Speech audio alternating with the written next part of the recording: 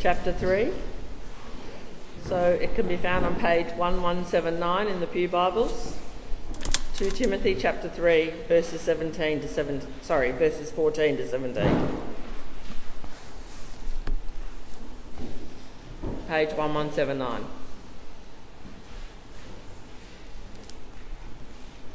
But as for you, continue in what you have learned and have become convinced of because you know those from whom you learned it, and how from infancy you have known the Holy Scriptures, which are able to make you wise for salvation through faith in Jesus Christ.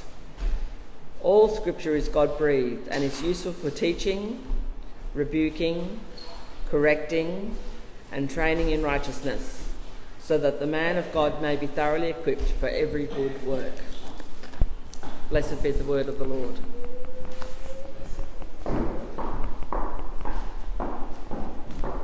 Thank you very much, Judy, and good morning, everyone. Uh, let's pray, ask for God's help that we might hear from Him clearly this morning. Let's pray. Uh, Father, we thank you so much for your word to us, that you have spoken clearly, that you haven't left us um, without, without a word from you, without any information about you. You haven't left us to make up our own ideas but instead you've communicated clearly with us. And so, Father, I pray that as we hear from your word this morning, that we would be encouraged and that we would love you more as a result. In Jesus' name, Amen. In 1521, Martin Luther stood accused of heresy. And he was at an assembly in a place called Worms. Uh, and when you see it written down, it looks a bit funny because it says the diet of worms uh, but it's actually the Diet of Worms. And repeatedly, he was told that he couldn't believe, he wasn't allowed to believe what he believed. He had to change his mind, he had to agree with the church's teaching. He had the whole weight of the authority of the, the church, which was basically the only church in the world at that time, or at least in the West, and he, they were telling him he needed to change his mind on his beliefs. And Martin Luther said this Unless I am convicted by Scripture and plain reason, my con- uh, I do not accept the authority of popes and councils because they have contradicted each other. My conscience is captive to the word of God. I cannot and will not recant anything, for to go against conscience is neither right nor safe. So help me God. Amen. Luther's collected works um, give the more famous version of this statement where he says, Here I stand I can do no other, so help me God. Amen. What bravery. He didn't just stand against a few authorities, he stood against the Pope, every bishop, the whole world, in fact. And he stood on the Word of God as the only infallible source of truth. And it's because of him and similarly brave believers that we hold today to the words Scripture alone. We believe that there is no council or pope or authority that can say, This is the truth, if those words cannot be found in Scripture or derived by good and necessary consequence from Scripture. Now, there may be things that are true that are not found in the Bible, but nothing that is required for life or godliness is not contained in the scriptures. Everything we need for life and godliness is contained in the Word of God. And you might think to yourself, yep, Isaac, that's pretty basic stuff. I believe that. I believe that for a long time. But I ask us the question this morning do we really believe in Scripture alone? Do we really believe in Scripture alone? I wonder how many times we have gone to make a decision, an important decision, and we have consulted with our friends, we've consulted with people we respect, we've consulted maybe with the internet, but we have not consulted with God and His Word.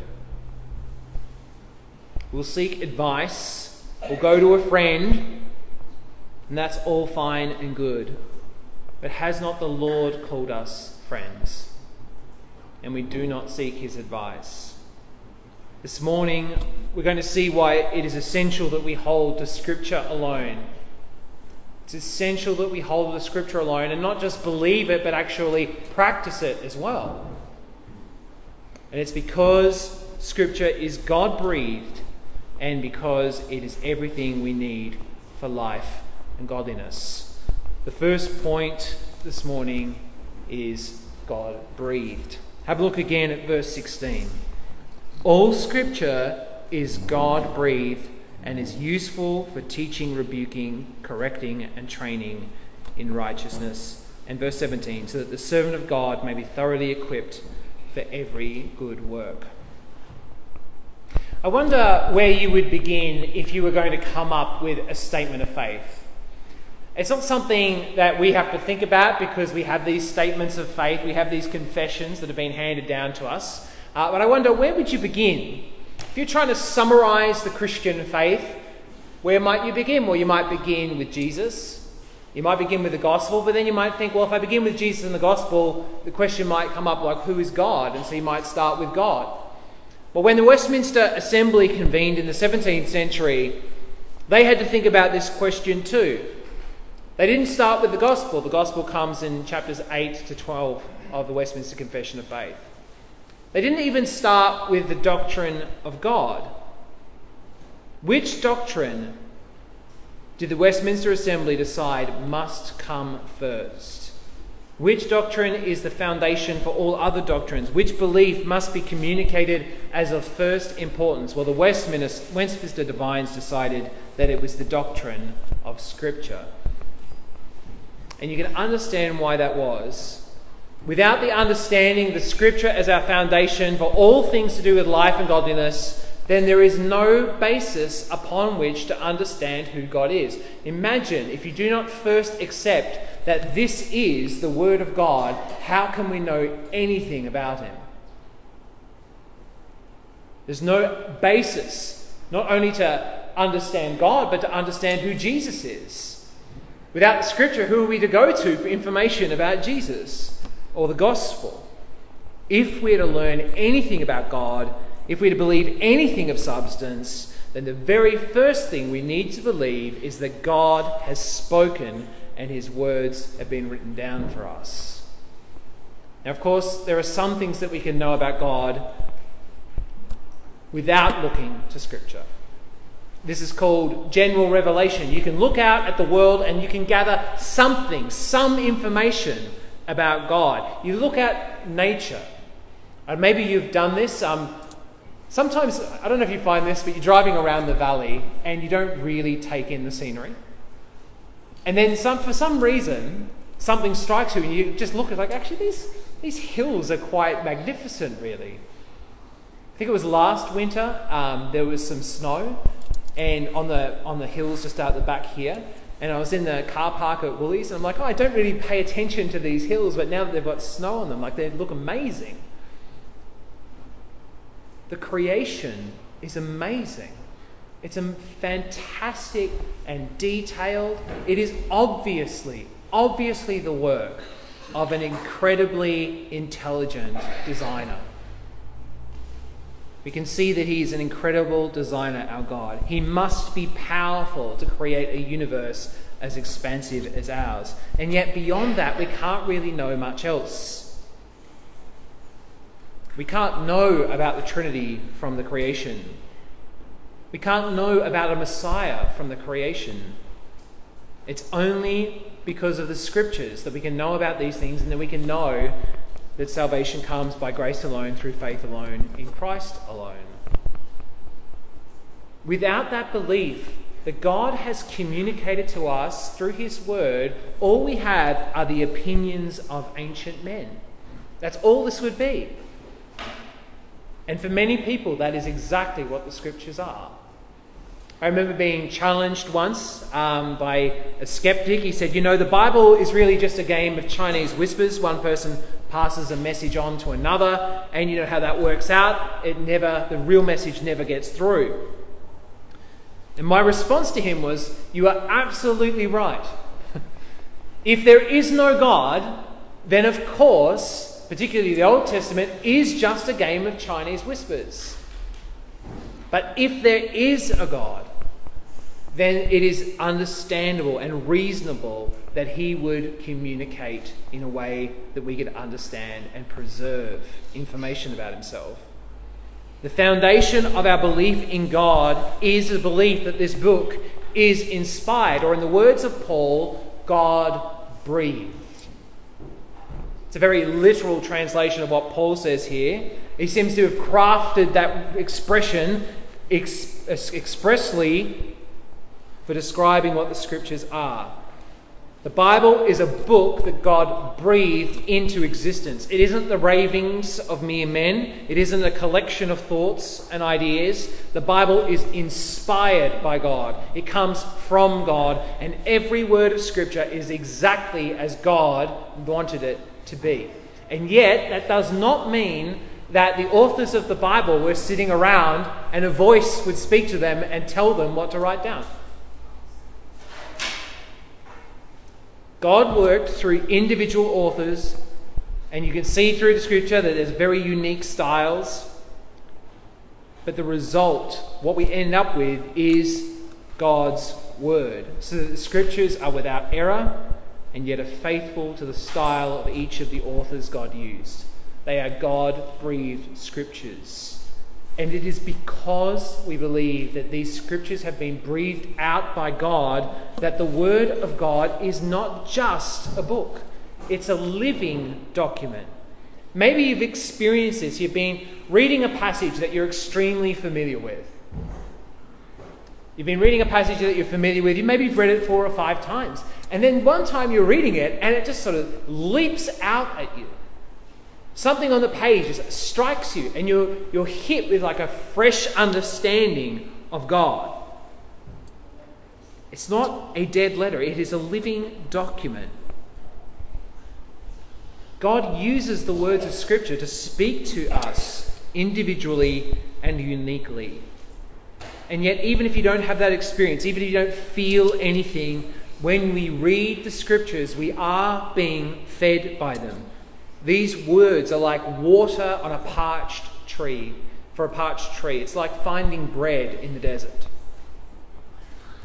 Maybe you saw a post by Christina Bear on Facebook, and she was saying that she has a tradition in her family that when they go to, the, go to America, um, they take a child down the wonders of American greatness. it, every child has to witness and have this experience of seeing this glory of the United States of America, and that is, of course, the cereal aisle in the supermarket. Now, if you haven't been to America, you might not be able to understand. There are 20 times as many options for cereal in the United States as there are here, and all of them are simply terrible. They're not food, it's chemicals and corn syrup held together with soy, and it's delicious.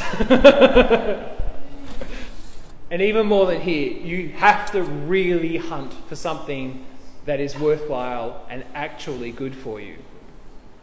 Friends, we live in that aisle, except instead of being full of cereal, it's full of information and it's full of things that are vying for our attention. Nearly all of it is extremely bad for us. And that's exactly the thing that makes us want it more and more. But also in that aisle of information is a book with the words of life in it. That is real food. That will feed us, nourish us. That will lift our heads when we're down. That will inform us. That will guide the path of our lives and will even transform us by the power of the Holy Spirit so that we become more and more like Jesus. We believe in Scripture alone because it is the only thing that is God breathed. The second and last point this morning is that it is everything we need. Have a look once more, verse 16 and 17.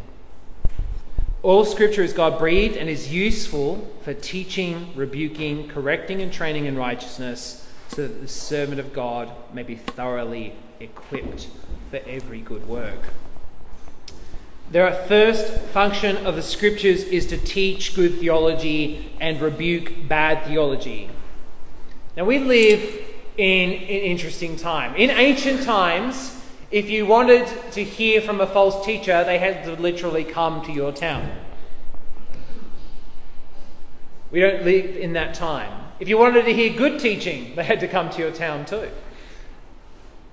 We live in an unprecedented time where you can go on the internet, you can listen to John Piper's um, seashell sermon on a loop 24 7.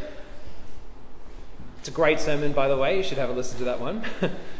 John Piper lives in Minnesota. It's about as far away from here as you can possibly get.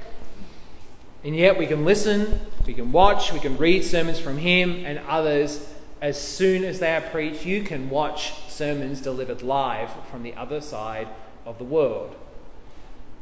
There has never been a time where it has been easier to get the truth of the gospel to people all over the world. And yet there has never been a time where it is easier for false teachers to spread their heresy.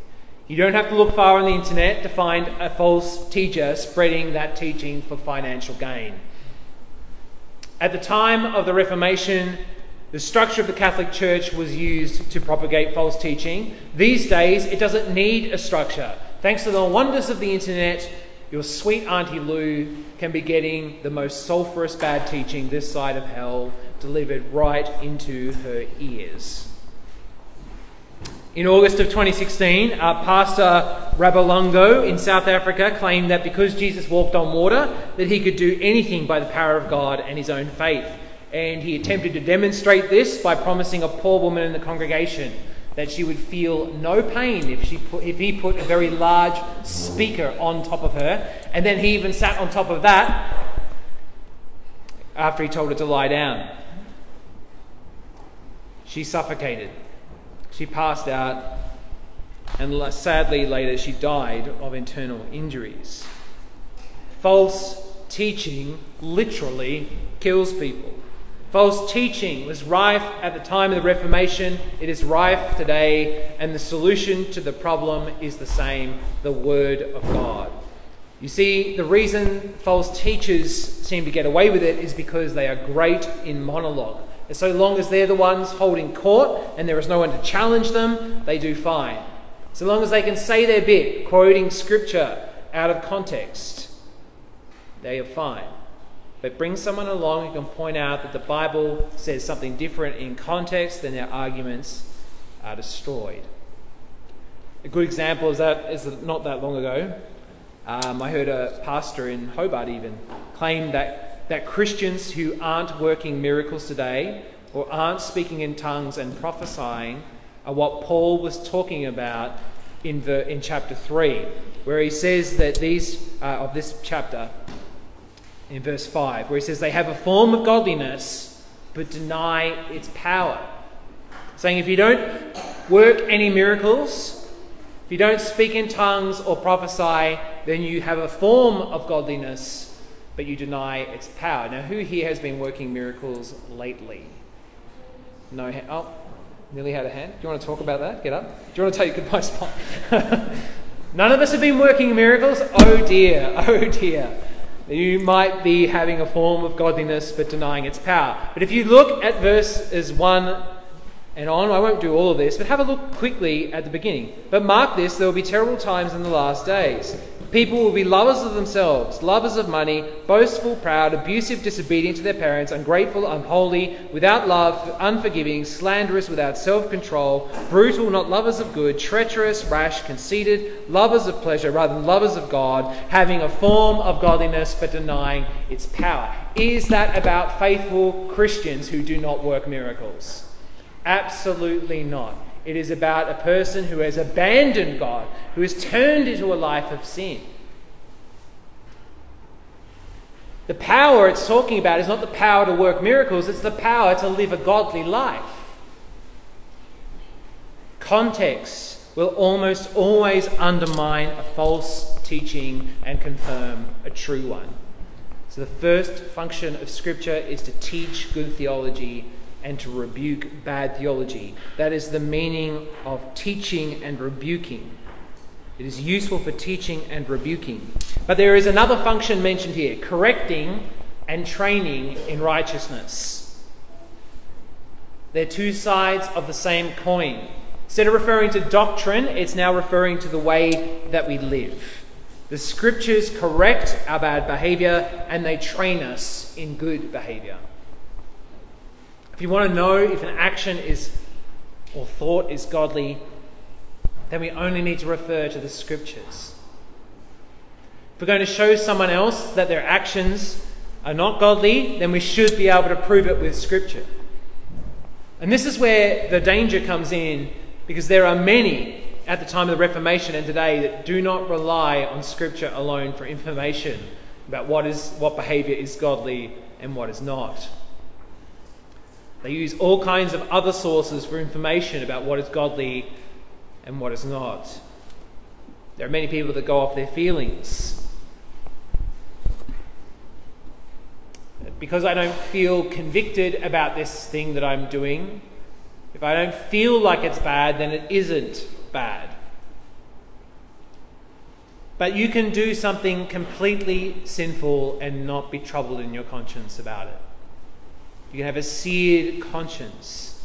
But there's another way that you can use information outside of the Bible to inform your behavior, and that is by using tradition. Tradition. To this day, the Catholic Church teaches that it is immoral, it is wrong for priests to marry. Nothing in the Bible suggests such a thing. In fact, you can see in history where it came along later, um, it was designed to prevent um, the children of priests inheriting estates from the church. It's not a scriptural thing, it's a tradition. And the result of adding tradition to Scripture is confusion and misery.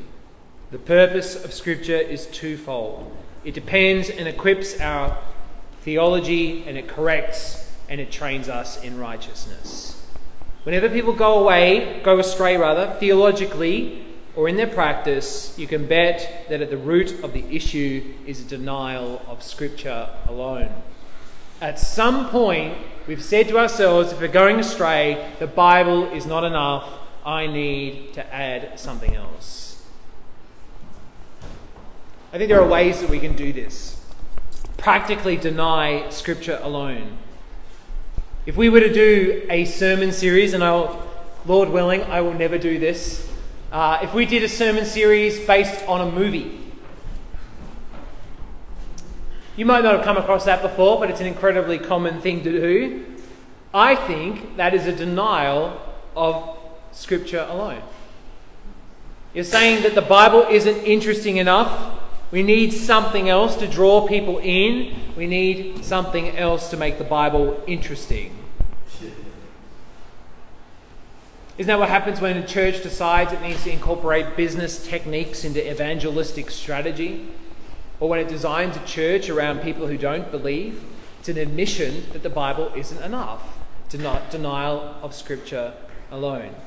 And we can be tempted to shake our heads at people who do those things, but I wonder do we need to remove the log from our own eye? How often have we been in a trial and not turned to God in His Word?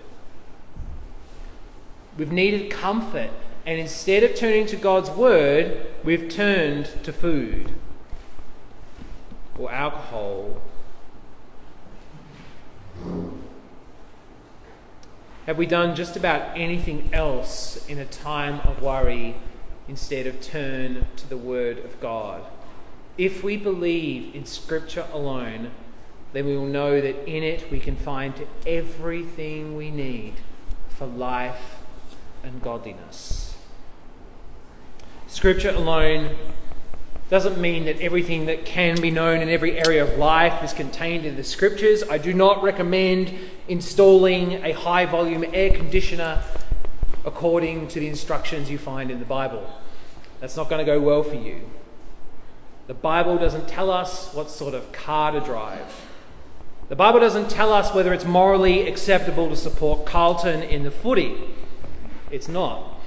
The, that, that's a tradition. the Bible doesn't even tell us specifically which words are accept, unacceptably coarse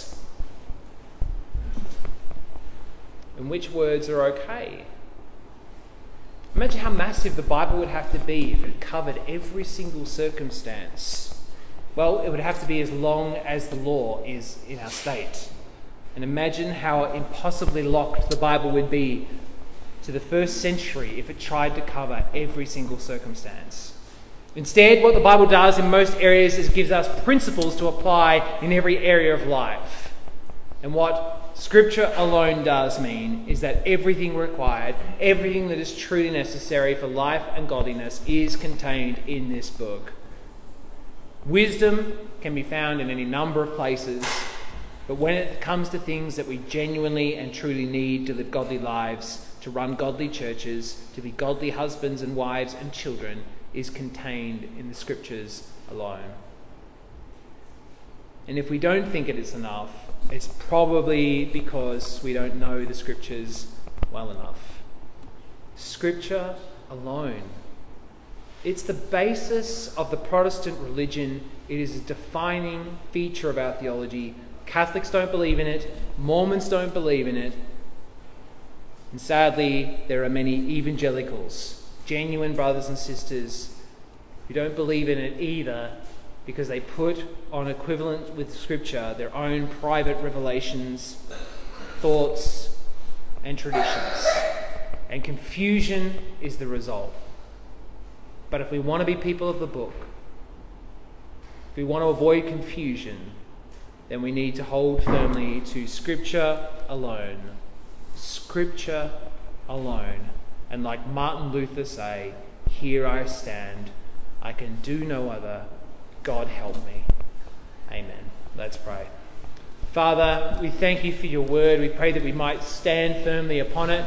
No matter what comes our way, what challenge from the world, what challenge from religious people, that we would say, no, that the word of God is our firm foundation.